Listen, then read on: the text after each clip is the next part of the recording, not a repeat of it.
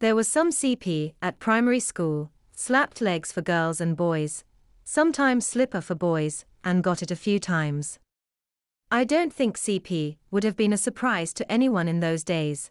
It was just how it was, although time were changing fast.